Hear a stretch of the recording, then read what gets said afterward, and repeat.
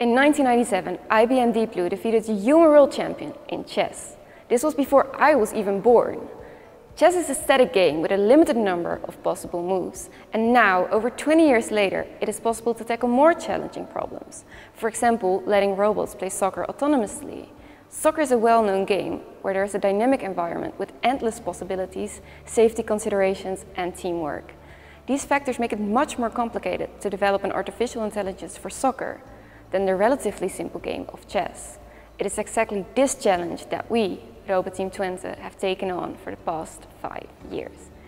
Welcome everyone to the reveal presentation of Roboteam Twente. I am Cassandra and this is Flores and we would like to thank you all for coming to see what we've been working on for the past year.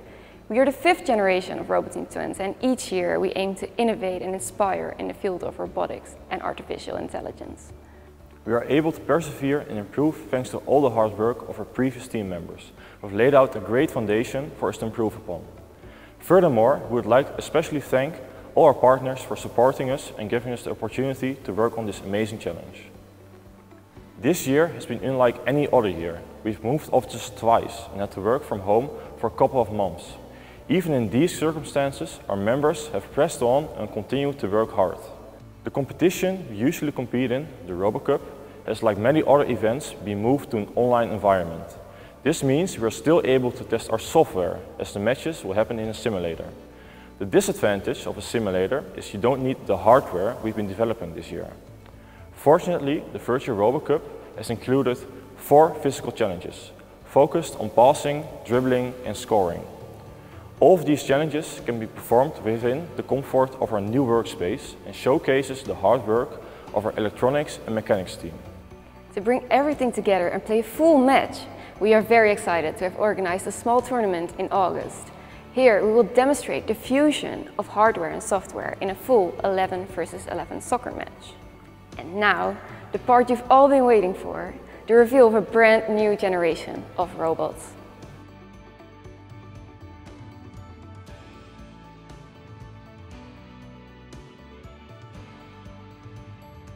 In the design presentation, you could see all the technical details of the implementations we want to do this year.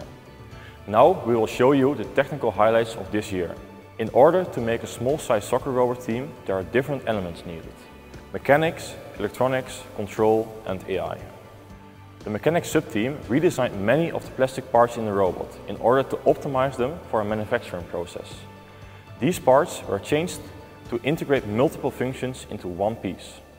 Furthermore, the weakest components have been replaced by metal in order to increase the robot's resistance against crashes with other robots.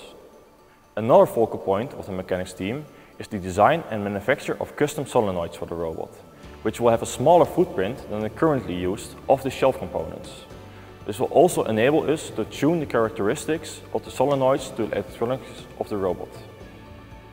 This brings us to the second half of the hardware, the electronics sub-team focused on making the electronics of the robot more robust and reliable. Thus, the top board has become a four-layered PCB and ESD protection components have been added. Furthermore, a new DC-DC converter has been developed for a more stable power signal. The base station has also received a major overhaul this year. The base station is responsible for the communication between the central computer and the robots on the field. A custom PCB and new packet protocol were designed, which allow for wireless two-way communication with a robot at 15 kilobytes per second, which is over 10 times the speed of our previous base station. The PCB contains an SD card for logging, a screen for real-time statistics, and can be powered by a battery. The new packet protocol allows us to send a multitude of different commands and settings to the robot. It also allows the robot to send much more important feedback back to the computer such as data from our accelerometer and Kalman filters. This information leads to better robot control in our AI and faster development throughout the year.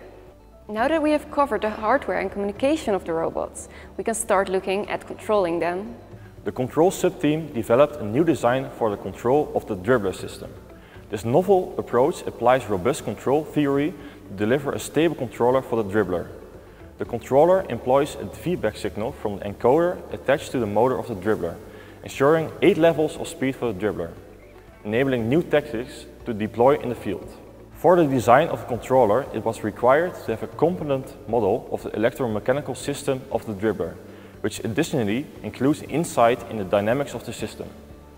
This information is used to understand the limitations of the robot's performance and gives a foundation for the improvement of the system in upcoming years.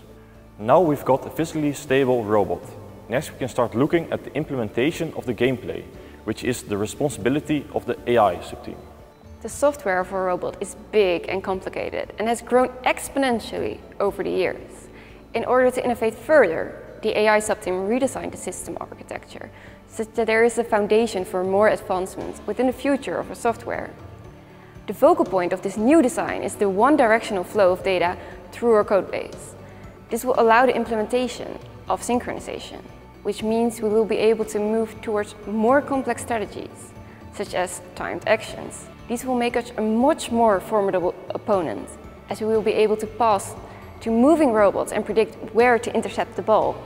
The redesign of our system architecture also gave us the opportunity to separate our interface from our AI and implement it as a web application.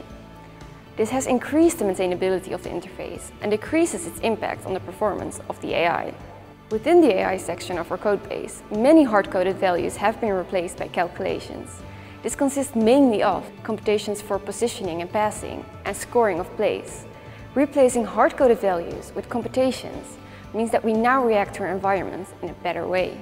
And last but not least, we have laid the groundwork for a new path planning and tracking algorithm using Bang Bang trajectories and taken the first steps towards the implementation of a logging system on our brand new interface.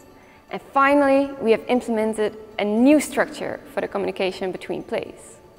The combined work of not only the technical subteams but also our PR and management have resulted in this brand new generation of robots. However, without all the hard work and dedication of our previous four generations, we would never gotten this far in just five years. Most of all, none of this would have been possible without the help of our partners, who have continued to support us throughout this challenging year.